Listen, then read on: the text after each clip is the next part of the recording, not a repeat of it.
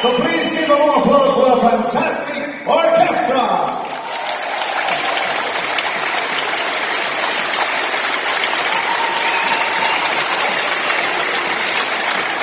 Ciao a tutti, benvenuti al nostro Milano Cabaret.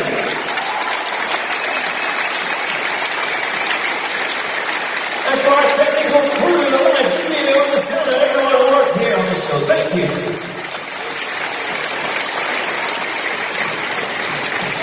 And thank you to all of you. London's number one Netherlands, December Brussels. Thank you for staying with us for all these 15 years. Thank you for the love and the support you've shown us. And you are actually, in fact, the reason that we are even here standing on this stage tonight. Because of you. It's like Urs said, it's all your fault.